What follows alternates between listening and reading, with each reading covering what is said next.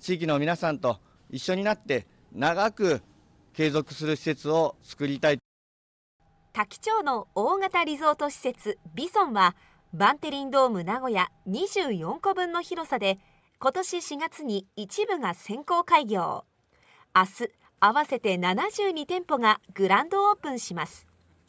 スペインのリゾート地サンセバスチャンをイメージした通りには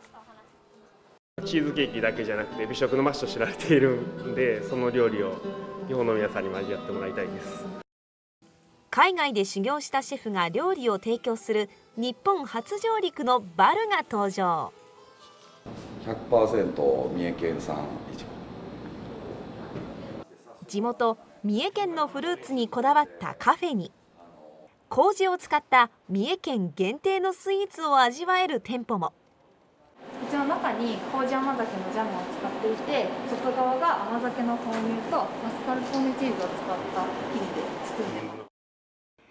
このほか和をテーマにした一角にあるのは味噌の専門店。数十種類の味噌を量り売りしているほか工場とほとんど同じ製法で味噌を仕込む体験もできます。こんな時期だとね夏休み終わる頃にはもう若いお味噌出来上がりますので、まあ、ぜひね夏休みの自由研究なんかにもいいのかなと思います。他にも隣の農園で栽培した野菜を提供するレストランなど1日では回りきれない店舗数と広さ。そのため会場を自由に回ることができる電動キックボードのほかこんなものも。移動ゴミ箱と言われております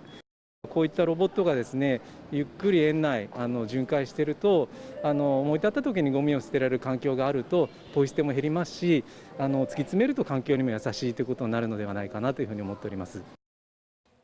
ビソンでは年間800万人の来場を見込んでいて